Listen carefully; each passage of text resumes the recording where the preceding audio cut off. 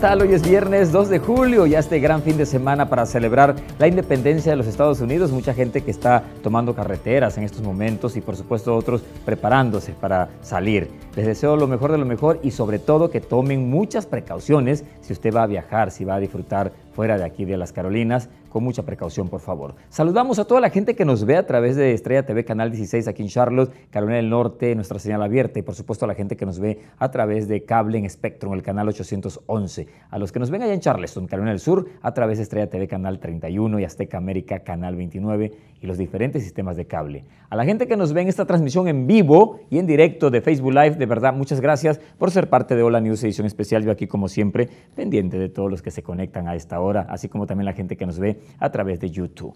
Vamos a iniciar con la información de hoy, viernes 2 de julio. Según la asociación, hablando de esto precisamente, según la Asociación Automovilística Estadounidense, la AAA, se espera que 47 millones de personas salgan a las carreteras para celebrar el 4 de julio, o sea, para ir a, a algún destino de vacaciones. Y esto es el mayor número de viajeros que toman las carreteras, lo cual provoca que la policía estatal intensifique los patrullajes para asegurarse de que los conductores se mantengan seguros.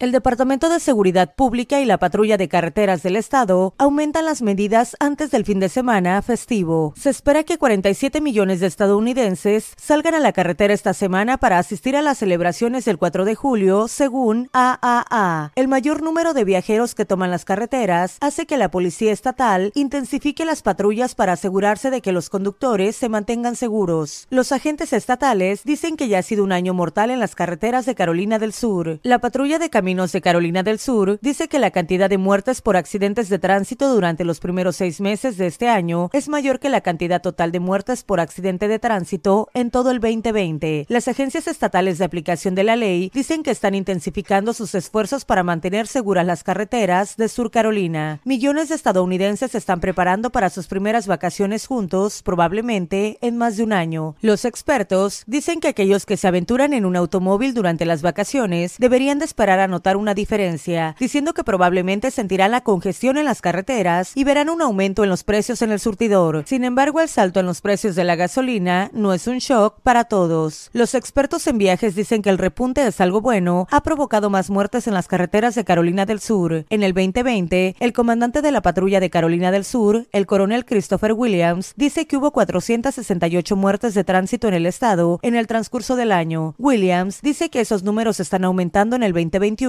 con 496 en lo que va del año. Reportó para Hola News edición especial Lilia Salgado. Bueno, pues hay que tomar precauciones, como le dije antes de la nota, si va a viajar, si va a manejar, mucha precaución porque queremos verlos o queremos contarnos cosas buenas el próximo lunes aquí en Hola News edición especial o durante la semana. Por otro lado, el sitio de vacunación del COVID-19 en el Boyangles Coliseo, esto aquí en la ciudad de Charlotte, va a permanecer abierto hasta finales de este mes de julio. Los funcionarios de la salud del condado de Mecklenburg buscan, por supuesto, que las personas se vacunen y aprovechen este nuevo periodo.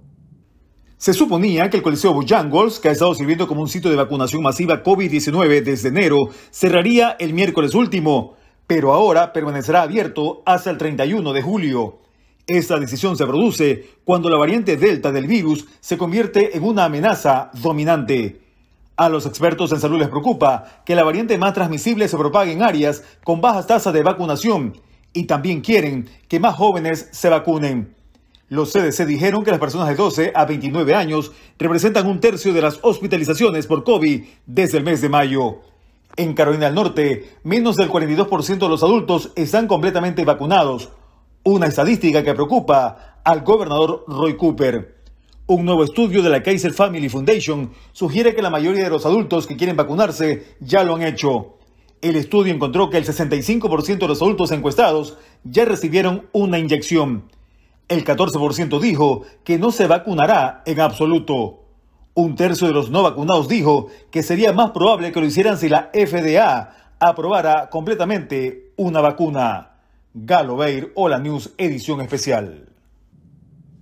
Ha llegado el momento de pasar a la sala de redacción de Hola News edición especial con nuestra compañera Alejandra Gallardo con las últimas noticias de lo que ocurre aquí en las Carolinas. Mi querida Alejandra, qué guapa, adelante con la información. Efectivamente, todo listo desde la sala de redacción. Si me permiten, a continuación les presentamos la información de último momento aquí en Hola News, edición especial. Un pasajero de un vuelo que salía del Aeropuerto Internacional de Charlotte Douglas fue arrestado después de abrir la puerta de salida de un avión mientras estaba en la pista y luego bajarse del avión.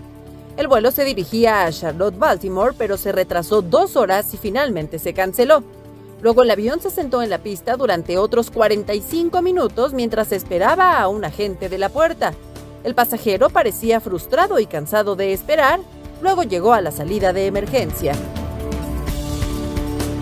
El Departamento de Policía de Charleston, en Carolina del Sur, busca a un hombre armado luego de que asesinara a tiros a una persona el jueves por la noche. La policía respondió al tiroteo que ocurrió alrededor de las 9.30 pm en el área de las calles Harris y Hanover, según indicó el portavoz de la policía, Charles Francis, que confirmó que la víctima es un hombre. En respuesta a más de 43 millones de conductores que tomarán las carreteras este fin de semana del 4 de julio, los policías están reforzando la patrulla a través de su campaña Bus It and It, Bebe y Piérdelo, en Carolina del Norte. Durante este feriado, los soldados de las carreteras estarán atentos a infracciones como exceso de velocidad, conducción agresiva, conducción distraída y cumplimiento del cinturón de seguridad. Ya estamos muy bien informados. Sigan en la señal de Hola News edición especial. Pasen una extraordinaria tarde. Muchas gracias, mi querida Alejandra. Nosotros avanzamos con más información. Y bueno, tras la llegada del verano aumenta, por supuesto, la presencia de animales salvajes en muchas áreas residenciales y comerciales de aquí de Carolina del Norte. Es por ello que tenemos estas recomendaciones con nuestro compañero Juan Carlos Velilla. A medida que se va acomodando el verano, los funcionarios estatales de Wildlife Resources le recuerdan a los habitantes de Carolina del Norte que tengan mucho cuidado cuando estén realizando actividades al aire libre, como asados en familia, cortando la yarda del jardín o estén por fuera de casa debido a la alta presencia de animales salvajes como serpientes, caimanes, zorros, osos y otras especies. North Carolina Wildlife Resources expresó en un comunicado que la principal razón por la cual estas especies invaden áreas residenciales y comerciales se debe en especial a que muchos de estos animales nacieron en la temporada de primavera y es en el inicio del verano cuando comienzan a adaptarse, saliendo a las calles, lugares públicos o comerciales o a permanecer en cualquier lugar de su casa. En Carolina del Norte tenemos seis tipos de serpientes bastante venenosas. Instamos a la gente a que tenga cuidado cuando se encuentren trabajando en el jardín o podando por debajo de los arbustos. A los animales les gusta mucho el calor, así que es muy probable que salgan del agua y se vayan para el pavimento o busquen algún tipo de asfalto para calentarse, dijo Clayton Ludwig, oficial principal de NC Wildlife Resources. Desde Charlotte, Juan Carlos Belilla para Hola News, edición especial. En otras noticias, la Agencia de Salud de Carolina del Sur está monitoreando las vías fluviales estatales en busca, por supuesto, de nacimientos de algas nocivas y advierten a los nadadores que se mantengan alejados de posibles floraciones de algas en las aguas superficiales este verano. La Agencia de Salud y el líder de Carolina del Sur están monitoreando las vías fluviales estatales en busca de floraciones de algas nocivas y advierte a los nadadores que se mantengan alejados de posibles floraciones en las aguas superficiales ambientales. Este verano, el Departamento de Salud y Control Ambiental de Carolina del Sur dijo que las floraciones de algas existen en cuerpos de agua naturales en casi todas partes y no son exclusivas de Carolina del Sur. Las floraciones ocurren cuando pequeños organismos parecidos a plantas llamados algas y cianobacterias crecen en exceso en ríos, lagos y océanos. Pueden estar asociados con espuma, escoria o capas gruesas de algas en la superficie del agua. El DHS dice que estos auges pueden verse y oler mal. Dice que algunas floraciones de algas están formadas por organismos tóxicos que afectan la salud de las personas, los animales y el medio ambiente. Se denominan floraciones de algas nocivas o HAB. Es más probable que ocurran floraciones de algas nocivas en los meses de verano, cuando las temperaturas son más cálidas, dijo Brian Rabor, gerente del programa de ciencias acuáticas del DHS en la oficina del agua. No se puede saber si una floración de algas es dañina con solo mirarla, y algunas floraciones no se pueden ver porque permanecen en el fondo de un cuerpo de agua hasta que son perturbadas. Rabon dijo que una buena regla general es, si sospecha que hay una floración de algas, manténgase a usted mismo, a los demás y a las mascotas alejados de ella. Disfrute del agua en otra área donde la floración no esté presente. El DHS dijo que analiza el agua ambiental en Carolina del Sur mensualmente durante todo el año, mientras que las playas que dan al océano se analizan semanalmente durante los meses de verano, del primero de mayo al primero de octubre. Reportó para Hola News edición especial Lilia Salgado. Vamos a darle un vistazo a las condiciones del clima con la bella Suja, que está con nosotros. Adelante, mi querida Suja. Muchísimas gracias, efectivamente, como todos los días yo lista para darles el reporte del clima detallado. Se acerca el fin de semana, de qué manera se comportará el clima en la ciudad de Charlotte. Se espera para el día sábado formaciones de tormentas dispersas durante todo el día. El día domingo amanecemos con formaciones de chubascos durante la mañana. Las máximas para el día sábado 82 grados y contaremos con mínimas de 65 grados. Máximas para el día domingo de 83 grados y mínimas de 65 grados. El día sábado los vientos estarán soplando del noroeste de 5 a 10 millas por hora y de igual forma el día domingo. Para el día sábado contaremos con un 72% de humedad y el día domingo tendremos un 56% de humedad. Para el día sábado y el día domingo por la noche se espera un cielo parcialmente cubierto en la ciudad reina y nos dirigimos hasta la ciudad de Charleston, Carolina del Sur, donde tanto sábado como domingo en la ciudad de Charleston se esperan formaciones de tormentas dispersas durante todo el día. Las máximas para el día sábado y el día domingo se elevarán a los 85 grados y contaremos con mínimas ambos días de 72 grados. Para el día sábado tendremos los vientos que soplarán del sur-oeste de 10 a 20 millas por hora y el día domingo los vientos se desplazarán del oeste al suroeste de 10 a 15 millas por hora. Para el día sábado contaremos con un 84% de humedad y el día domingo se espera un 77% de humedad. Para el día sábado por la noche se esperan formaciones de tormentas dispersas en la ciudad de Charleston y el día domingo ya contaremos con un cielo prácticamente cubierto. Y de esa forma, bueno, pues así se estará comportando el clima este fin de semana, tanto en Charlotte como en Charleston.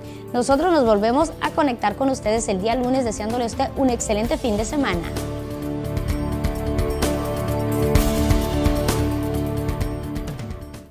Hola News, edición especial, la fuerza informativa para estar al día con todo lo relevante que sucede en las Carolinas, noticias, historias, clima y deportes. De lunes a viernes a las 5 de la tarde y 11 de la noche en Charlotte por Estrella TV Canal 16 o sigue nuestras transmisiones en vivo en nuestra página de Facebook Estrella TV Las Carolinas. Hola News, contando tus historias. Hola News. 15 años siendo parte de tu historia. Gracias por dejarnos acompañarte día a día como tu periódico favorito y fuente de información. Gracias por tu confianza. Y ahora sabemos que has evolucionado y queremos seguir siendo parte de ti.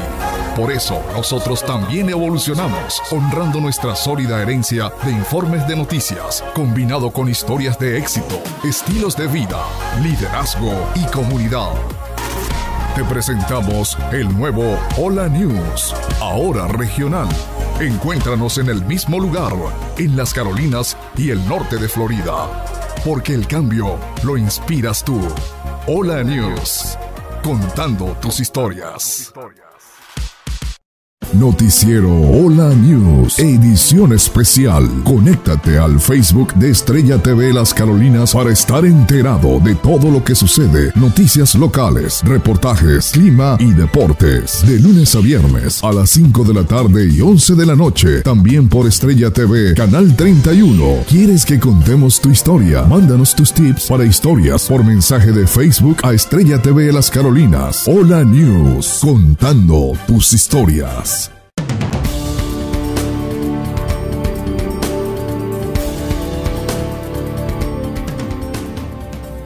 Ya estamos de vuelta aquí en Hola News, edición especial. Atención, comunidad hispana, usted quiere participar para ser parte de este gran cambio que les voy a hablar a continuación aquí en Charlotte. Imagínese, como usted sabe, Charlotte ya está creciendo y está cambiando cada día más. Próximamente se va a hacer una transformación de la carretera de la Albemarle Road hasta la W.T. Harris Boulevard y, por supuesto, la Independence Boulevard. Ah, pero antes de comenzar las obras, toda esta gente quiere que la comunidad hispana participe también. ¿Cómo?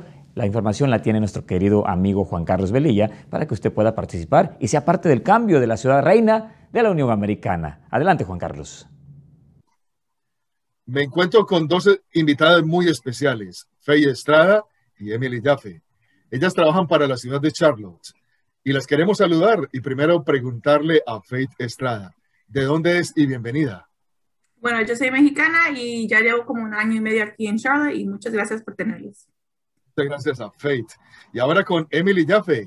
Ella habla muy bien el español y está con nosotros. Emily, bienvenida. ¿De dónde es usted? Gracias. Ah, yo nací en Virginia, um, pero mi ancestría es de eh, alemán y libanés. Oh, muy multicultural es Emily. Así que bienvenidas ambas a nuestro noticiero Hola News y para todos nuestros televidentes. Ellas están acá porque próximamente va a haber una transformación en el corredor de la Albemarle, ahí en la WT Harris y la Independence. Queremos preguntarle a Faith para que nuestros oyentes estén al tanto de todo esto. ¿De qué se va a tratar esta transformación? Bueno, la ciudad de Charlotte um, está interesada en invertir dinero en esta área Albemarle Corridor y le estamos llamando Albemarle Playbook porque estamos al principio del plan. Entonces nosotros queremos saber um, qué cosas quieren ver ustedes, los residentes, los que trabajan aquí en esta área, los que visitan, qué quieren ver, qué quieren que cambie, um, cuáles son sus preocupaciones, que se hace semáforos, calles, quieren caminar más, quieren tiendas nuevas, quieren parques. Nosotros queremos saber cómo quieren que nosotros invirtimos, invirtimos ese dinero um, y sus, sus esperanzas para esta área mientras empieza a crecer. Bien, o sea que la ciudad de Charlotte quiere que la comunidad hispana, que es una de las más crecientes en toda el área metropolitana de la ciudad, pues sea partícipe de esta transformación. Sí, correcto. Muy bien. Y para Emily, ¿qué tienen que hacer los latinos para dar a conocer sus ideas? Y cuáles son los cambios que quieren ver en este corredor de la Albema. Pues queremos que ustedes dirigen cómo invertimos el dinero en ese corredor y para hacer eso, para dar sus ideas, puede llenar una encuesta y para accesarlo puede enviar eh, la palabra este, E-S-T-E, e, al número 73224 Um, y en, en, con, con, este mensaje de texto ellos van a enviar acceso a, una encuesta y también más información um, de las reuniones que vamos a hacer para este proyecto. Pues algo más, Faith o Emily, que quieran ustedes eh, hacer conocer a nuestra comunidad hispana a través del noticiero Hola News por favor manden el mensaje este al número que me enseñó Emily. Um, la información que ustedes los van a dar es muy importante para cómo nosotros vamos a dirigir el dinero que queremos invertir en esta área y como les decimos es muy importante que ustedes um, participen en este proyecto. Bien, pues muchas gracias a Fey Estrada, a Emily Jaffe por haber estado con nosotros e invitarnos a que participemos en la transformación del corredor de la Albemarle. Muchas gracias por haber estado en el noticiero. Gracias. En otras noticias, el Colegio Comunitario de Forsyth, esto en Winston-Salem, aquí en Carolina del Norte, ofrecerá clases gratuitas para los estudiantes de las escuelas preparatorias que se habrían graduado en este 2021. Un nuevo programa de Forsyth Tech ofrece a los estudiantes que ingresan al primer año un año gratis de educación que incluye matrícula, cuotas y libros por un valor de aproximadamente 6 mil dólares. El compromiso universitario de la clase 2021, como se conoce al programa, promete a los recién graduados de cualquier lugar del estado un año escolar gratuito en Forsyth Tech para el año académico 2021-2022, independientemente de la necesidad económica del estudiante. La presidenta de Forsyth Tech, Janet Sprigg, dijo que espera que el programa impulse la inscripción. El año pasado, la inscripción cayó aproximadamente un 2% debido a la pandemia de COVID-19. El colegio comunitario ahora tiene 7.300 estudiantes y espera tener 8.000 para el próximo año escolar académico. De momento, el colegio comunitario no ha publicado hay requisitos de elegibilidad o hay restricciones. Hace unos días, el Tech también anunció que los jóvenes que hayan terminado la secundaria durante el 2021 y cumplan con ciertos criterios de elegibilidad podrían estudiar en el centro comunitario Tech de manera gratuita por hasta dos años. Galo Beir, Hola News, edición especial. Y bueno, en otras noticias, solo alrededor del 10% de las 300.000 porciones de ostras que se consumen cada año en Carolina del Sur se reciclan, lo que le cuesta al Estado decenas de miles de dólares al comprar conchas en otros lugares, lo que potencialmente, obviamente, amenaza seriamente los hábitats acuáticos. Solo alrededor del 10% de las 300.000 fanegas de ostras que se consumen cada año en Carolina del Sur se reciclan, lo que le cuesta al Estado decenas de miles de dólares comprar conchas en otros lugares y potencialmente amenaza seriamente los hábitats acuáticos. Cada año tenemos que comprar conchas simplemente porque no reciclamos tanto como se consume en Carolina del Sur, dijo Michael Hodges, gerente del programa de mejora y reciclaje de ostras de Carolina del Sur del Departamento de Recursos Naturales de Carolina del Sur, SCORE. La mayoría mayoría de las ostras recolectadas comercialmente pertenecen en el estado. Sin embargo, pocos restaurantes en el área de Grand Strand están involucrados en el reciclaje y hay pocas cajas de entrega en el área. La falta de reciclaje ha llevado al SCDNR a tener que comprar decenas de miles de bushels de conchas de otros estados, un costo que fluctúa y casi se ha duplicado durante la pandemia. Las conchas de ostras son fundamentales para los bebés que aún se encuentran en la etapa de larvas. Si no se adhieren a una superficie, se asfixiarán. Es por eso que las ostras crecen en grupos, creando arrecifes que crean hábitats para otras criaturas marinas, como peces, camarones y cangrejos. Cada ostra puede filtrar 50 galones de agua al día. Los arrecifes también mantienen el sentimiento de prevenir la erosión de la costa, disparar el agua de las tormentas y disminuir las inundaciones. También son una fuente de alimento sostenible siempre que se reciclen las cáscaras. Hay tantas razones por las que tener estos en nuestras vías fluviales que es tan importante, dijo Rachel Howis, gerente de proyectos de tierra, y Vida Silvestre de la Coastal Conservation League. Hodges dijo que el SCDNR ha visto una sobreexplotación en ciertas áreas, especialmente en Charleston, donde el Estado ha tenido que reparar los bancos para ayudar a reponer la cantidad de ostras. Si no se reciclan más cáscaras y Carolina del Sur no puede comprarlas en otros estados, la cantidad de camas disponibles para la cosecha disminuirá. Reportó para Hola News edición especial Lilia Salgado.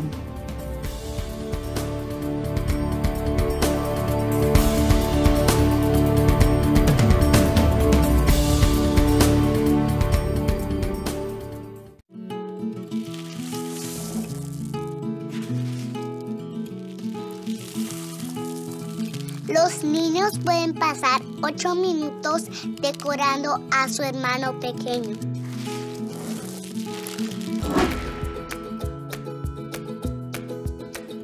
Cepillarse dos minutos puede salvar a tus hijos de sufrir un dolor severo. Dos minutos, dos veces al día. Aprovecha que ellos tienen tiempo. Disfruta de la buena música. Música sin comerciales. Tres géneros. Programación en vivo. Pop rock. Dime quién te bañará. Amor con tan, tantos besos. Reggaeton.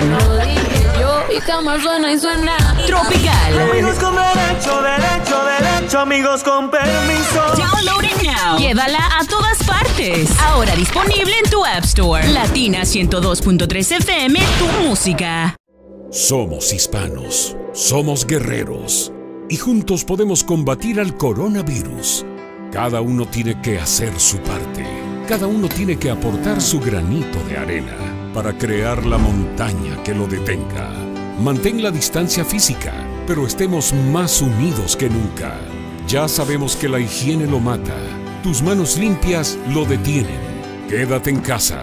Disfruta tu familia. Trabajaste mucho para tenerla.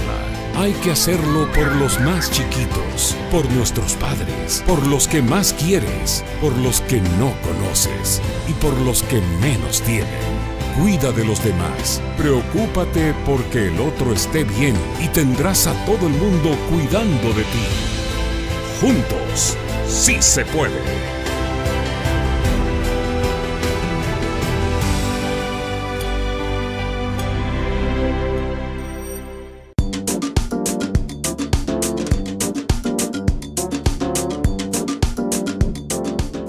Ya estamos de vuelta, hoy es viernes, el cuerpo lo sabe, Janet Ruiz lo sabe que está entrando por acá y ustedes, más ahora este fin de semana, feriado del 4 de julio de la Independencia, también lo saben.